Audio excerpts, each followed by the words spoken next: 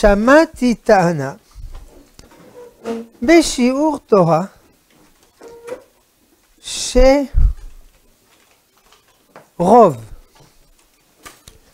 הימים הטובים הכתובים במגילת תענית יוחסו לעניין העצמאות המדינית והצבאית בימי החשמונאים, כגון כיבוש קיסריה ובית שאן, הסרת סמלים של שלטון יוון בירושלים ועוד. והנה רואים שחוץ מחנוכה כל הימים הטובים האלה בוטלו. מכאן מסיק הדורש שא' לחנוכה אין שום קשר למלחמה ולחידוש שלטון היהודים בארץ, הרי החג לא בוטל. ב' אין שום ערך בעצמאות מדינית אם אין אם אין בה תוכן של תורה ואין היא ואיך היא לא מביאה ואם היא לא מביאה להעצמת מצוות ותורה שהרי שאר הימים בוטלו. מה אומרים לטענות אלה בעניין עצמאותנו בזמן הזה? לא עונים כלום כי אין פה שום טענות. טענה ראשונה הוא אומר, א', מגילת תענית בוטלה. ב', מגילת תענית זה ניצחון צבאי. ג', חנוכה לא בוטלה. מסקנה, חנוכה זה לא על הניצחון הצבאי. א', הוא בעצמו מודה שרוב הימים הטובים הכתובים מגילת תענית קשורים, אבל מיעוט לא. אז למה הם בוטלו? אם הם לא, אם הם לא לאומיים, הוא אומר מה שלאומי בוטל, חנוכה לא בוטל כי הוא לא, לא, לא, זה הוכחה שהוא לא לאומי, אבל הוא בעצמו מודה שרק הרוב הוא לאומי, ושחלק הוא לא לאומי. קודם כל ניסחון על הצדוקים שאמרו שממחרת הפסח זה, זה, זה שבת ו, ו, ולא ממחרת הפסח. אז הוא סותר את עצמו. ב'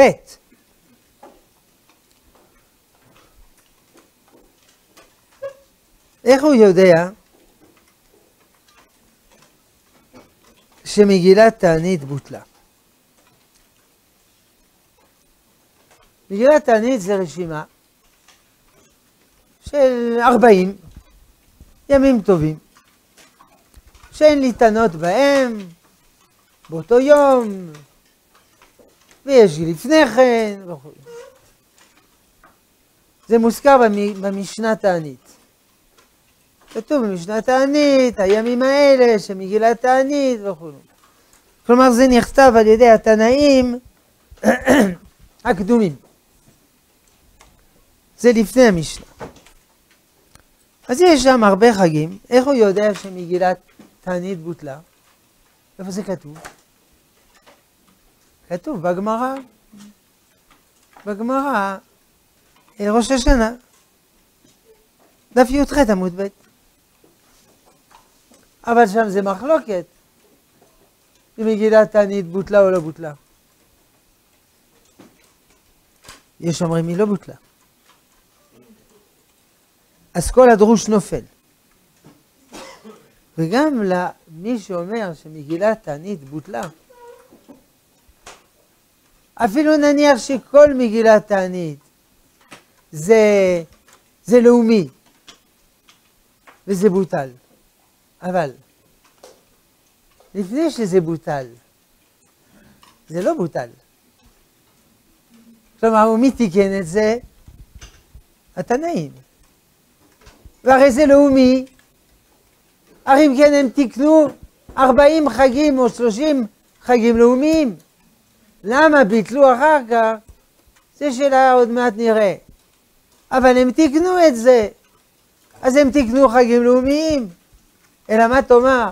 בהתחלה, בהתחלה היו לאומיים, ועשו תשובה, והם כבר לא לאומיים, הם נעשו חרדים. זה באמת, זה אבנים. מגילת תענית בוטלה בגלל החורבן. מה, מה אתה תעשה חגיגות? הניצחונות החשמונאים, ובזה חורבן בית שני, ובגלות, ונהרגו שלושה מיליונים, וכן הלאה וכן הלאה. זה לא שייך. לכן בוטלה מגילת תענית. אבל למה כל מגילת תענית בוטלה ולא חנוכה? ואתה חושב שבגמרא לא שמו לב לזה? שאלו, למאן דאמר לא בטלה, לא בטלה. אבל למאן דאמר בטלה, שואלת הגמרא, איך אתה אומר בטלה? הרי יש חנוכה. אם כן היא לא בטלה, כי יש חנוכה, אומרת הגמרא. אומרת הגמרא, חנוכה זה מיוחד, כי יש בה מצווה. ומצווה לא רצו, הדלקת נר חנוכה. מצווה לא רצו לבטל. אה... כלומר, לולא המצווה, היו גם מבטלים את חנוכה. אומרת הגמרא, אמר אביי, שיבטלו את חנוכה ואת המצווה. איך אפשר לבטל מצווה? חכמים תקנו מצווה ואתה מבטל מצווה? כן, אבל זה אביי אומר. כן, אני לא מבין מה אביי אומר. אביי אומר דבר כזה. מצוות הדלקת נר חנוכה היא תוצאה של חנוכה. ולא חנוכה זה חג הדלקת הנרות, אלא הנרות זה בגלל שזה חנוכה. ואם אתה מבטל חנוכה, אתה ממילא מבטל הדלקת הנר. אה. כלומר, העיקר זה לא הדלקת הנר. הדלקת הנר זה דבר נגרר. כמו שאומר המהר"ל, הדלקת הנר, הנס, זה כדי שידעו שהניצחון הוא מן השמיים וצדקו שלחמו. או כמו שאומר חתם סופר, שכל הצלה צריך לקבוע חג. מה עושים? זה מדורייתא. קל וחומר מפסח, קל וחומר זה מדורייתא. ומה הפסח שהצלה ממיתה? מעבדות לחירות, קבעו חג, הקדוש ברוך הוא קבע חג, הצלה ממיתה לחיים קל וחומר. מה עושים בחג? זה תקנת חכמים. הדלקת נרות. אבל אם החג בטל, אז גם הדלקת הנרות בטלה. זה מה שאומר אביי. מה הבעיה? בגלל הדלקת הנרות לא ביטלו חנוכה? אם מחליטים לבטל חנוכה, אז אפשר גם לבטל הדלקת הנרות. אז באמת, למה לא ביטלו חנוכה לפי אביי? אומרת הגמרא, פרסומי ניסה. פרסום הנס זה דבר גדול מאוד. בפרסום הנס לא רוצים לבטל. הקיצור, ביטול מגילת תענית, א', לא כל החגים הם לאומיים, וביטלו בגלל החורבן. ומה שלא ביטלו חנוכה, זה לא בגלל, לפי דברי הטוען, כי זה לא לאומי. כי הגמרא שואלת למה לא ביטלו חנוכה, למה, ולא ענתה, כי חנוכה אינו לאומי. זה לא מה שכתוב בגמרא, אלא או בגלל שיש מצווה, או בגלל פרסום הנס. אבל אולי הדורש הוא חולק על הגמרא. אם הוא חולק על הגמרא, איך הוא בכלל לא יודע שבטלה מגילת תענית? כנראה הוא לא חולק, כי הוא אומר תורה תורה, אז הוא חרדי. אז הוא לא חולק על הגמרא. אז אולי יש עצה ללמוד גמרא. רואים שהוא לא למד את הגמרא. ואחרי שלומדים גמרא, אפשר להקשות ולתרץ ולברר ולחדש, בוודאי, אפשר להביא סוגיות חולקות, אבל איך אפשר בלי ללמוד את הגמרא?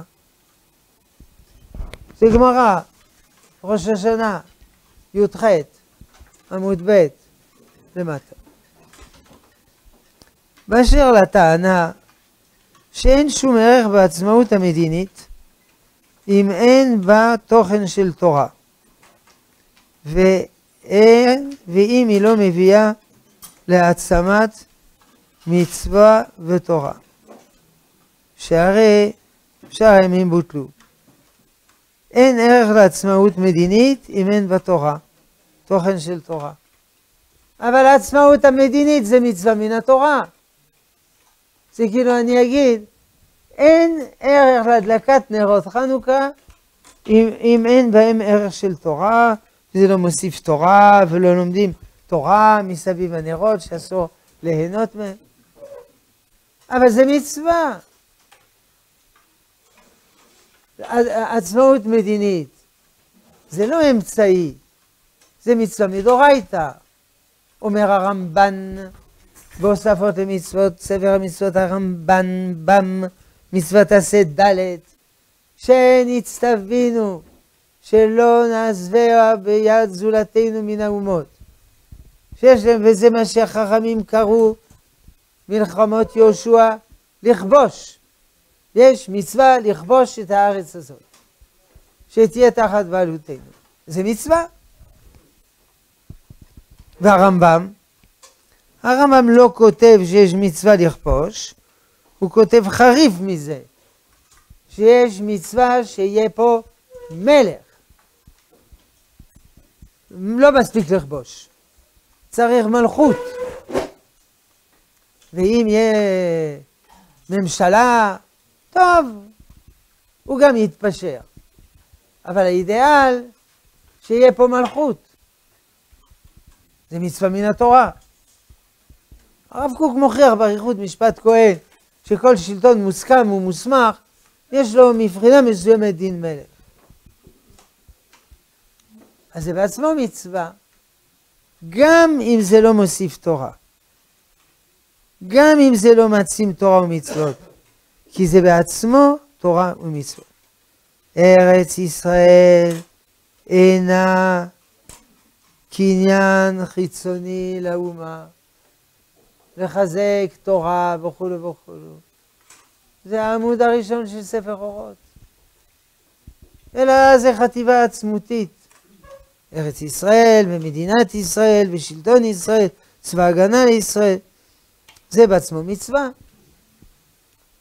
בשנה עשר ריקום המדינה, מישהו ראיין את הרב ציודה, זה כתוב בספר במערכה הציבורית, מה ההישגים הרוחניים של מדינת ישראל אחרי עשר שנות קיומה.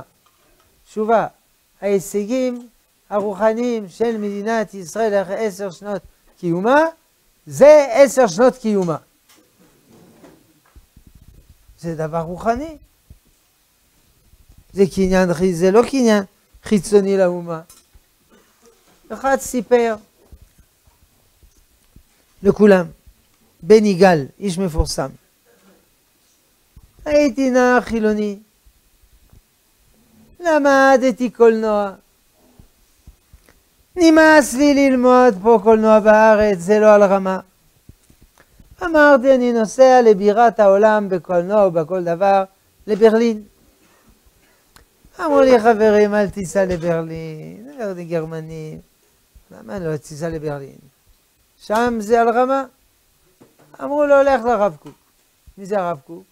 סכן אחד. מה אכפת לו? בא לרב ציודה.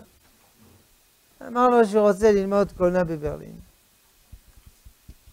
אמר לו הרב ציודה, זה חייב להיות דווקא בברלין. לא, חייב בברלין, בברלין. אין עם מי לדבר. אז הוא שם ידו על ידו ואמר לו, ארץ ישראל אינה קניין חיצוני לאומה, אלא חטיבה עצמותית. נסע לברלין, אומר, נסעתי, שקעתי בסמים. יום אחד הייתי בגן ציבורי, לא זוכר איפה, בשטוטגרד, לא יודע, לגמרי מסומם. פתאום אני מרגיש יד חמה על היד שלי. וכל ארץ ישראל אינה קניין חיצוני לאומה. ארזתי את כל הציוד שלי, חזרתי לארץ ישראל, באתי לישיבה, ללמוד בישיבת מרכז הרב, והוא נעשה אחר כך תלמיד חכם. סיפור מעניין. אם כן, סיפר לכולם. אם כן, זה בעצמו מצווה. לא מדבר פה על עצם הטענה. אם זה לא מביא העצמת מצוות ותורה. הרי אנחנו רואים שזה מביא. הרבנים החרדים מודים שזה מביא. מסתכלים מה שקורה בחוץ לארץ, ומה שקורה פה, ודאי שזה מביא תורה ומצוות. אבל גם לא יצויר שזה לא מביא.